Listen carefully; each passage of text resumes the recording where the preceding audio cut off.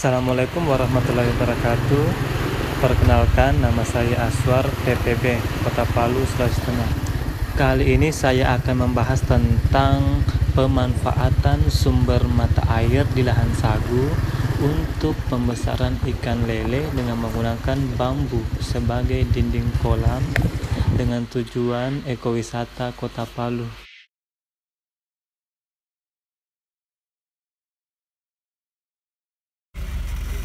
Bambu di sini dipakai sebagai dinding kolam tanah dan juga sebagai penyangga atau penahan tanah pematang kolam ini.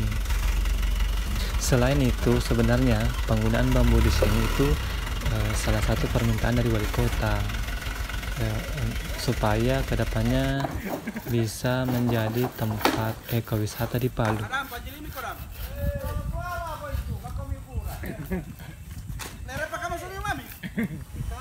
Inilah dana lokasi pembuatan kolam yang bersampingan dengan lahan sagu yang dilindungi dan juga desain kolam.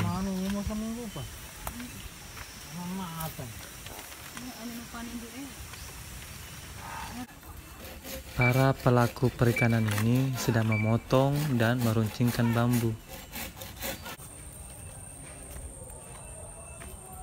Sekarang kita sedang menuju ke lokasi kolam yang lain.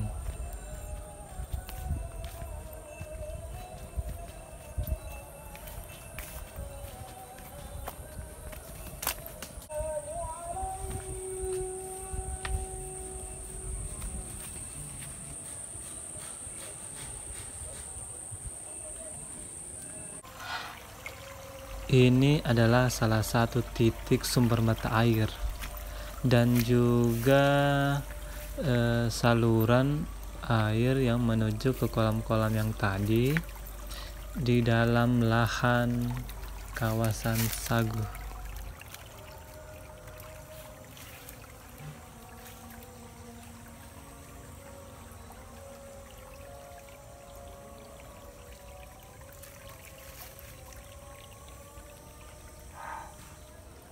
Seperti inilah penampakan kolam yang belum dipasangi bambu.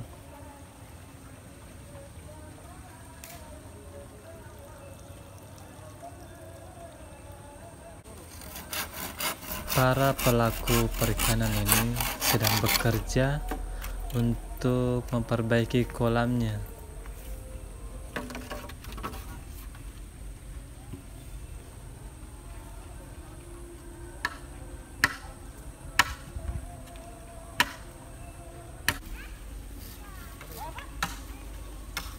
Ada yang sedang memotong bambu ada yang sedang mengikat tiangnya ada juga yang sedang bergergaji dan lain-lain sebagainya. Ada juga yang sedang mematok memotong bambu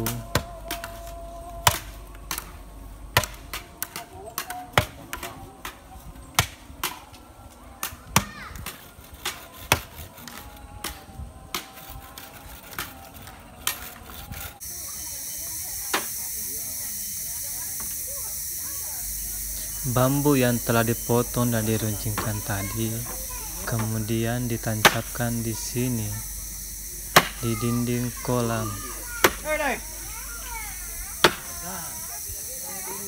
Seperti inilah kurang lebih penampakannya. Ayo Pak, pukul terus. Jangan lu dan tidak lupa diikat supaya bambunya lebih tahan.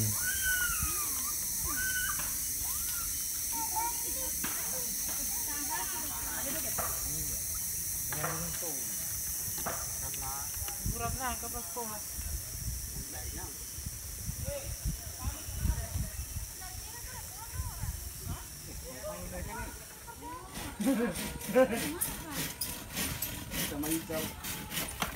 Di di di, di Marola Oh, Oh, berarti mantap Bapak punya pola